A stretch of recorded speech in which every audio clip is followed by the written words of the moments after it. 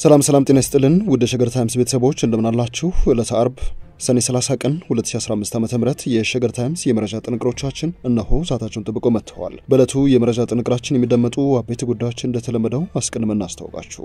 በአዳማ ከተማ ቤት ለቤት የህዝብ ቆጠራ ስለመጀመሩ የመረጃ ምንጮች ይፋ አድርገዋል። በዚህ ህዝብ ቆጠራ የአዳማ ከተማ ነዋሪ እየተጠየቀ የሚገኘው ጥያቄ ምን ይመስላል? የመረጃ ጥንቅራችን የሚመለከተው ጉዳያችን ነው። ከዚህ ውጭ በሸዋሮቢት ከተማ ሌላ ግድያ ተፈጽመዋል። መከላከያ ሰራዊት ከገባ በኋላ እጅግ ተባብሶ ቀጥሏል የተባለው የሸዋሮቢት ከተማ የጸጥታ ጉዳይ ምን ይመስላል? የመረጃ ጥንቅራችን ይመለከተዋል። የታላቁ የኢትዮጵያ ህዳሴ ግድብን በተመለከተ ለነሐሴ የተያዘለት ቀጠሮስ እንዴት ይታያል? ከወደ ግብጾች ጠቅላይ ሚኒስትሩ ያቀረቡትን ሪፖርት ተከትሎ የተሰጡ አስተያየቶችን በተመለከተም የመረጃ ጥንቅራችን የወፍ በረር ዳሰሳ ያደርጋል። እንደተለመደው እነዚህን ጉዳዮች በዝርዝር እያደመጣችሁን አብራችሁን ቆዩ የዘወትር አክብሮታዊ ግብዣችን ነው። ወደ ቀዳሚው ጉዳያችን እናምራችሁ።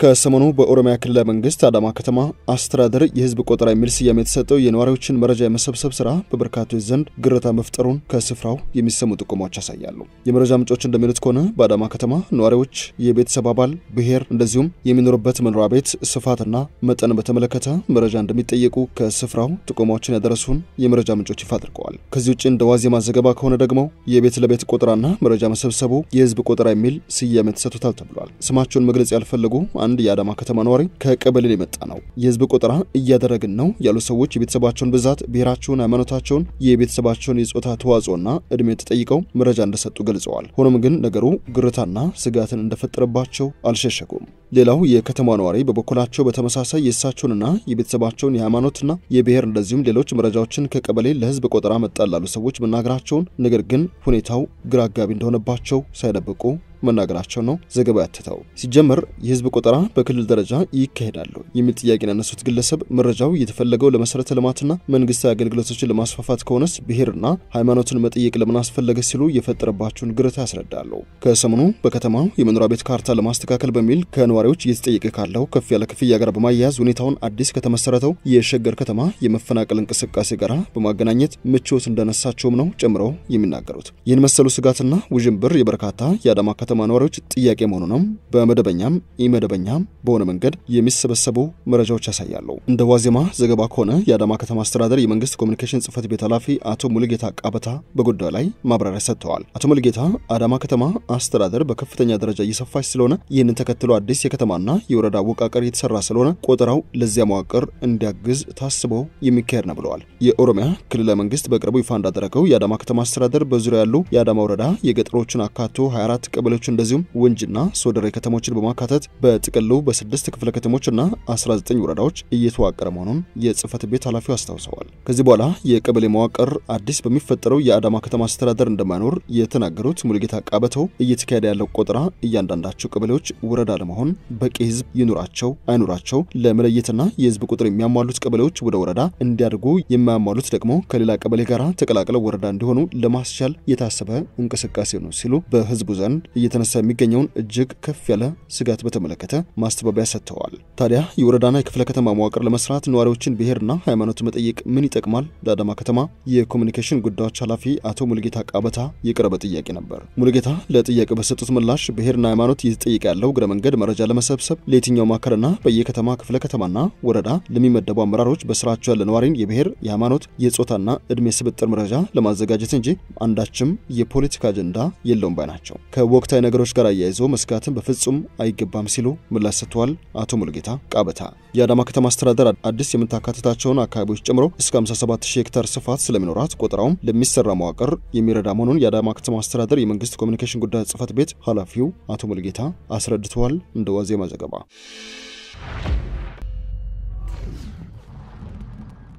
የዕለቱ የመረጃ ጥንቅራችን እንደቀጠለ ነው። ወደ ሌላኛ ጉዳያችን እናምራችሁ። በሸዋሮቢት ከተማ ሌላ ግድያ ተፈጽሟል። በከተማዋ እጅግ የጸጥታ ሁኔታው እየተባበሰ መጥቷል ተብሏል። በሸዋሮቢት ከተማ በትላንትና ምሽት አንድ የፖሊስ አባል መገደላቸው ተሰምተዋል። በአማራ ብሔራዊ ክልላዊ መንግስት ሰሜን ሸዋ ዞን ሸዋሮቢት ከተማ አስተዳደር አንድ የፖሊስ አባል ትላንት ምሽት በስራ ላይ ያለ ባልታወቁ አካላት መገደሉን የከተማ አስተዳደሩ ከንቲባ ጽህፈት ቤት አስታውቋል። የተገደለው የፖሊስ አባል ምክትል ሳጅን ያለለት ደጉ ሲሆን በሸዋሮቢት ከተማ አስተዳደር 08 ቀበሌ ከምሽቱ አራት ሰዓት በስራ ላይ ያለ ባልታወቁ ግለሰቦች በጥይት ተመቶ መገደሉን ከተማ አስተዳደሩ አስታውቋል። ከሶስት ቀን በፊት የከተማ አስተዳደሩ ሰላምና ጸጥታ ጽሕፈት ቤት ኃላፊ አብዱ ሁሴን በተመሳሳይ ባልታወቁ አካላት በጥይት ተመተው መገደላቸውን የከተማዋ ከንቲባ ጽሕፈት ቤት ያስታወቀ ሲሆን በከተማዋ በተደጋጋሚ መሰል ጥቃቶች የሚፈጸሙበት ሁኔታ እየተሰማ ነው። በተለይ የፌዴራል መንግስት የኢትዮጵያ ሀገር መከላከያ ሰራዊትን በአካባቢው ካሰማራ በኋላ ችግሩ ተባብሶ መቀጠሉም የሚታወቅ ነው። ለዚህ ሲባል የሸዋሮቢት ከተማ ላልተወሰነ ጊዜ የሰዓት እላፊ ገደብ በከተማዋ ማዕከላዊ ኮማንድ ፖስት አማካኝነት ማወጁ የሚታወቅ ሲሆን ከተማዋን ሰው አልባ ለማድረግ እጅግ ከፍተኛ የሽብር እንቅስቃሴ እየተካሄደ ይገኛል ማለቱ የሚታወስ ነው።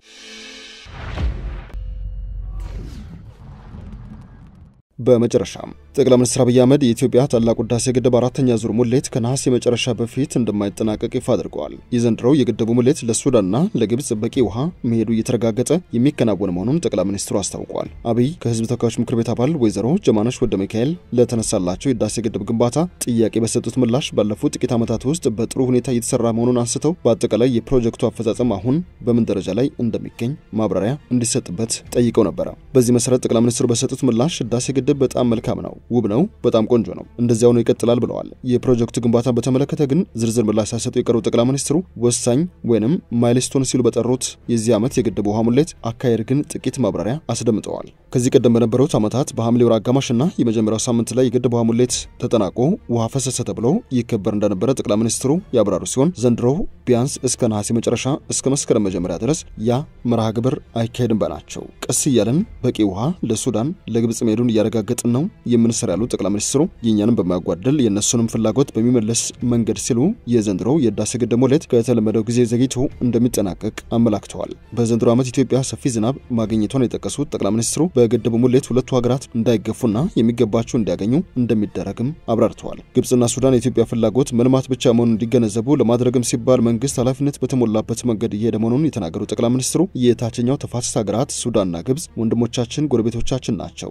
ልንነጥል የማንችላቸው ህዝቦች ናቸው ያሉት ጠቅላይ ሚኒስትሩ ከዚህ ቀደምም ሁለቱ ሀገራት በህዳሴ ግድብ ላይ ያላቸውን ስጋት ታሳቢ ያደረጉ ስራዎች ሲሰሩ ቆይተዋል ሲሉ አስታውሰዋል። ጠቅላይ ሚኒስትሩ የወደፊቱን እቅድ በተመለከተ ሲያብራሩም የእኛ ቀጣዩ ጥያቄ እንዴት በጋራ አዳዲስ ፕሮጀክቶችን ልንሰራ እንችላለን፣ በዚህ ከምንጨቃጨቅ አዳዲስ ስራ እንዴት እንጀምር የሚለውን ለመነጋገር ዝግጁ ነን፣ ንግግሮች ይደረጋሉ፣ ውጤትም ይጠበቃል ሲሉ አብራርተዋል። የጠቅላይ ሚኒስትሩን ማብራሪያ ተከትለው የአህራም ኦንላይን ዘገባ እንደሚያሳየው ከሆነ ግብጾች ለሁለት የተከፈለ ሀሳቦችን እያራመዱ ይገኛሉ። በአንድ በኩል ጠቅላይ ሚኒስትሩ ህዳሴ ግድብን በተመለከተ ከዚህ ቀደም የነበራቸውን ጠንከር ያለና ምቾት የሚነሳ አቋም እያለሳለሱ መጥተዋል የሚል እምነት ያላቸው ግብፃውያን የፖለቲካ ተንታኞች አስተያየት የሰጡ ሲሆን፣ በሌላ በኩል ደግሞ ኢትዮጵያ የህዳሴ ግድቡን የውሃ ሙሌት በተመለከተ ከግብፅና ከሱዳን ጋር አስገዳጅ ስምምነት ሳትፈጽም ጠቅላይ ሚኒስትሩ በሚሉት ብቻ አምነው ተቀብለው የህዳሴ ግድብ ግንባታ ግብፅና ሱዳንን በማይጎዳ መልኩ እየተገነባ ነው የሚለውን ጉዳይ ነጥሎ ማመን አላስፈላጊ ነው ሲሉ ሀሳቦችን እየሰጡ እንደሆነ የአህራም ኦንላይን ዘገባ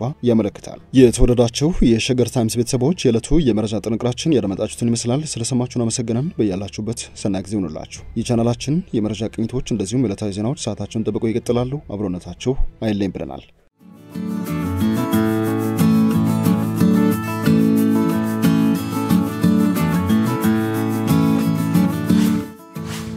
ሸገር ታይምስ ሚዲያን subscribe በማድረግና ደወሉን በመጫን ይከተሉን።